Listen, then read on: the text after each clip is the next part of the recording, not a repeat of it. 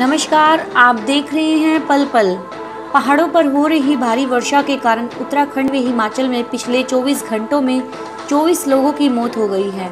वहीं हथनीकुंड व राज जमुनानगर से 8 लाख क्यूसिक से अधिक पानी छोड़े जाने के कारण हरियाणा के करनाल, पानीपत, जमुनानगर ज़िले के कुछ निचले इलाकों के साथ साथ दिल्ली को भी बाढ़ का खतरा पैदा हो गया है। आज दिल्ली में जमुना खतरे के निशान के पास थी। वहीं हथनीकुंड बैराज से छोड़ा गया पानी अगले 48 घंटे में दिल्ली पहुँच सकता है, जिस कारण दिल्ली में जमुना के किनारे रहने वाले इलाकों के लोगों को भी स्थान छोड़ने की चेतावनी दी गई है। देखिए किस ढंग से जमुना उफान पर है।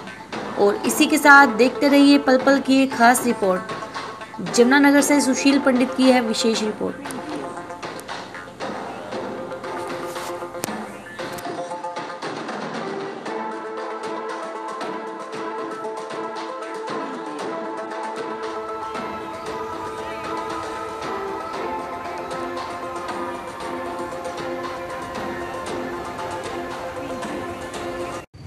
बाकी क्या पोजीशन है सर आज हथनीकुंड बैराज पर टोटल पानी कितना है। पथरीकुंड बैराज पे अभी 10 बजे चार लाख तीस हज़ार आठ सौ सतारह पानी क्रॉस हो चुका है। और जैसा कि कैचमेंट एरिया यमुना का है उसमें भारी बरसात कल से चल रही है। और अपने लोकल लेवल पे भी बरसात है तो पानी का ट्रेंड बढ़ने की तरफ़ है। और सुबह पाँच बजे से ये काफ़ी अच्छी मात्रा में बढ़ना शुरू हुआ। और छः बजे हमने नहरें बंद कर दी थी अभी तक नहरें बंद हैं। और पानी की जो गेज है पोंटा वो भी बढ़ती जा रही है। बाढ़ का लेवल कितने पे घोषित करते हैं सर? ढाई लाख से ऊपर जब भी पानी हो जाता है तो उसको हाई फ्लड घोषित कर देते हैं। दिल्ली कब तक पहुंचेगा सर?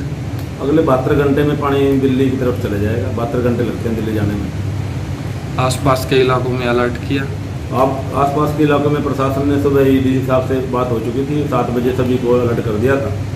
और प्रशासन कल से ही जो था इस मामले को लेके क्योंकि सबको पता था कि 16 तारीख से 18 के बीच में भारी बारिश की संभावना है और उसको लेके प्रशासन ने कल से ही सभी अधिकारियों को दिशा निर्देश जारी कर दिए थे। और आज सुबह से सभी गाँव में मिलादी हो चुकी है और प्रशासन पूरी अलर्ट है। है? हमारे पास इस प्रकार की भी कोई सूचना नहीं।